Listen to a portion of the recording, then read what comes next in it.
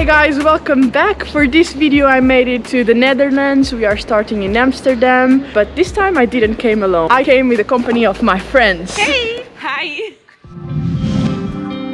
Time to set sail on a canal boat river tour. And though there are plenty of reasons why this is still a must do when visiting Amsterdam, the main highlights for me surely are the fact that the canal ring is today a UNESCO World Heritage Site, as well as the relevance of this river to this city. When back in the 12th century, the first dam was built to hold the Amstel River, giving the name of Amsterdam to this city.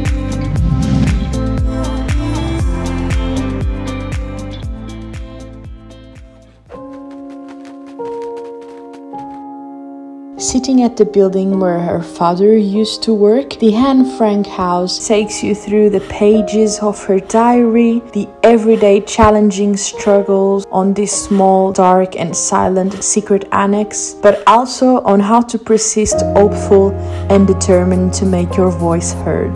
This overwhelming visit is these days more relatable than ever. Take some time to stroll around Jordaan district and admire its narrow streets, leading you to the Negen Straatjes, Dutch for the Nine Streets, which is a location also known as this city's shopping quarters.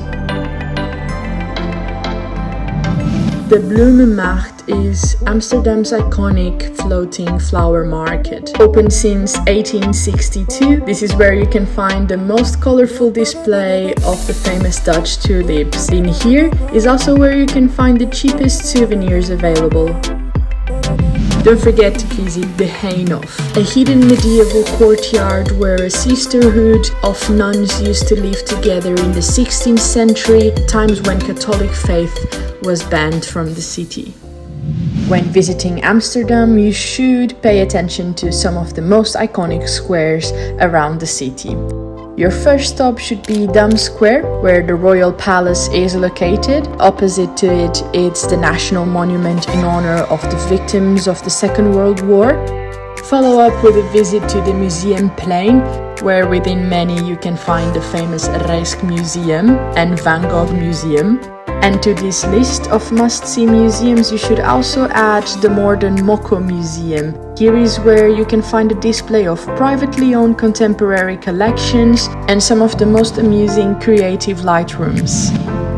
Lastly, and purely for the sake of exploring the history of Amsterdam, visit the Heineken Experience. Located where the first Heineken brewery used to be, this experience takes you through not only the brewing process of this worldwide famous beer, as well as bottoms up, a good taste of it.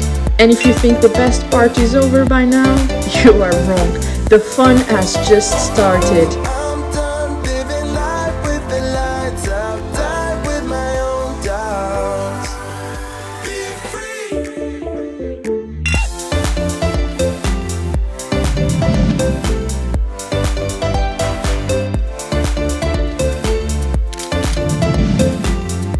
Time to head up where all nights lead to in Amsterdam, the famous red light district.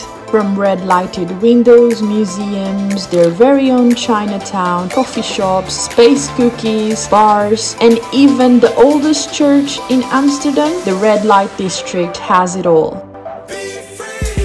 Take it or leave it, but a visit to Zaanse Schans should be considered if you do want to observe the real traditional Dutch experience. So, my advice is to drink some hot chocolate.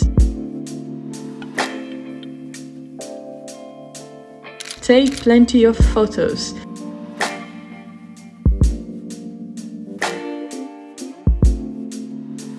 Visit their authentic Dutch houses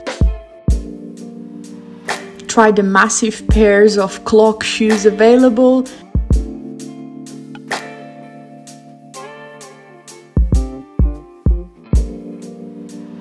Feel crafty at the wooden shoes factory. And believe me, your visit will be worth it. Don't finish your trip without experience a breathtaking view of this amazing city. Step into their light show lift until the 20th floor and set your adventurous soul free for some really long 22 seconds swinging over the edge.